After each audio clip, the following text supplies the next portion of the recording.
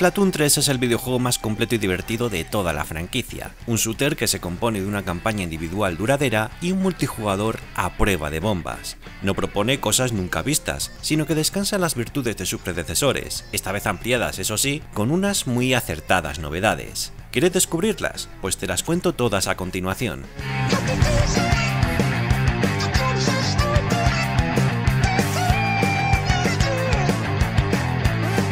La campaña individual de Splatoon 3 supone uno de los grandes reclamos del videojuego, con un alto número de niveles a superar y una dificultad bastante ajustada, especialmente en su último tramo. Es más que un tutorial para aprender el control y movimientos básicos. Es una aventura completa, con entre 8 y 10 horas de duración que está cargado de variedad de planteamientos y un ingenio que solamente me parece comparable a la magnífica autoexpansión de Splatoon 2. Me ha sorprendido por lo inteligentes que resultan los desafíos y también por la inventiva de los jefes finales, además de una narrativa que nos explica en cierta manera el trasfondo de la franquicia Splatoon, así que no tiene poco interés.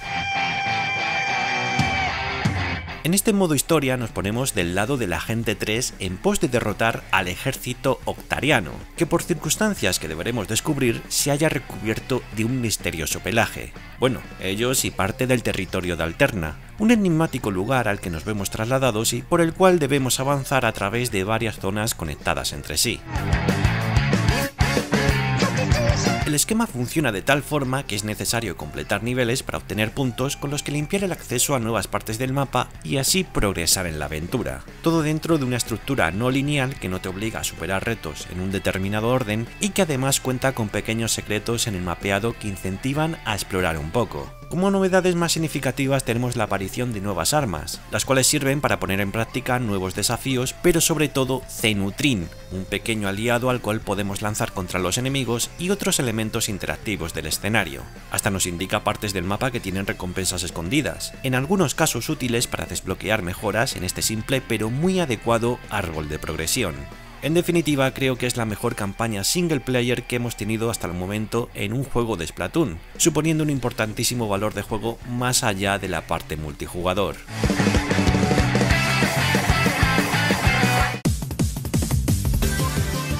La parte multijugador online de Splatoon 3 descansa en el dicho de que si algo funciona, no lo cambies demasiado.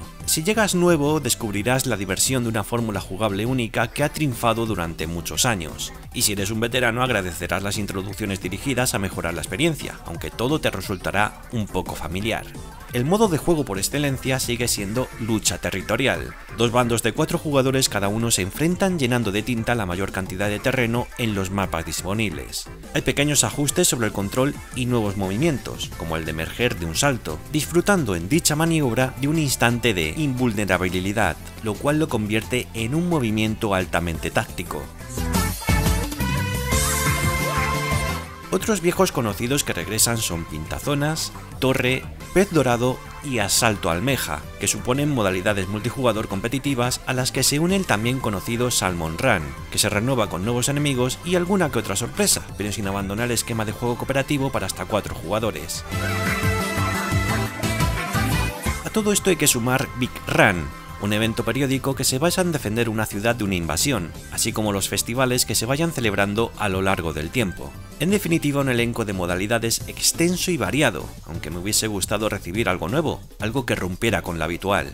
En su lugar, Nintendo ha preferido mejorar lo existente a través de la incorporación de nuevo armamento, los típicos elementos de personalización y por supuesto algunos escenarios completamente inéditos que se unen a los ya existentes. En total son 12 mapas de lanzamiento que se irán sumando a los que lleguen en futuras actualizaciones. No está mal, más si consideramos que existe una buena variedad de propuestas, desde escenarios más laberínticos hasta otros más abiertos. Además, hay mapeados procedentes de anteriores entregas que se renuevan de forma significativa, ofreciendo un contundente lavado de cara.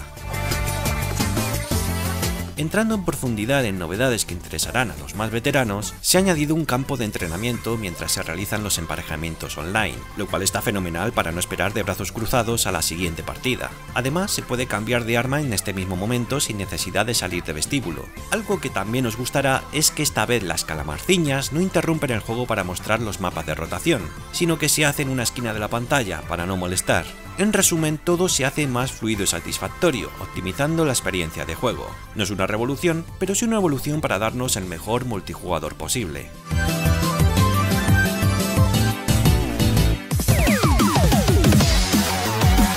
Esto que veis aquí es el nuevo centro neurálgico que se estrena en Splatoon 3. Se llama Tintelia y es un enclave que sirve para acceder a las distintas opciones de juego que contiene el título. Lo más importante son las tiendas, que nos permiten obtener nuevas armas y accesorios con que mejorar y personalizar a nuestros personajes. Tampoco hay grandes cambios aquí, más allá de la incorporación de más ropa, calzado y elementos de equipamiento habituales. Lo que sí es realmente novedoso es esto que veis aquí. Se llama lucha car territorial y es una especie de minijuego que para mí ha supuesto una de las grandes sorpresas. Se trata de un juego de cartas con elementos tácticos que emula las luchas territoriales del online en forma de tablero uno contra uno de momento solo se puede jugar contra la CPU, pero en un futuro Nintendo lanzará una actualización gratuita para competir en línea con otros jugadores. Y la idea está fenomenalmente ejecutada. El objetivo es llenar de nuestros colores el mayor espacio posible, usando para ello las distintas cartas disponibles en cada momento. Hay mucha estrategia y puede llegar a hacerse bastante retante y emocionante. Por último, me queda comentar que el juego dispone de una opción de multijugador local, aunque lo cierto es que está bastante limitada y no dispone de pantalla dividida. El juego hay que decir que juegues como juegues ofrece un rendimiento sobresaliente tanto en modo televisor como portátil. Tal vez cuando exploras Tintelia el frame rate se resiente, pero en el resto de situaciones la fluidez es excelente con el motor gráfico que ya experimentamos en Splatoon 2 y que tan buenos resultados ofreció. La banda sonora también sigue la misma senda que en el pasado, esta vez con una renovada e inspirada colección de temas, los cuales brillan especialmente en la campaña individual.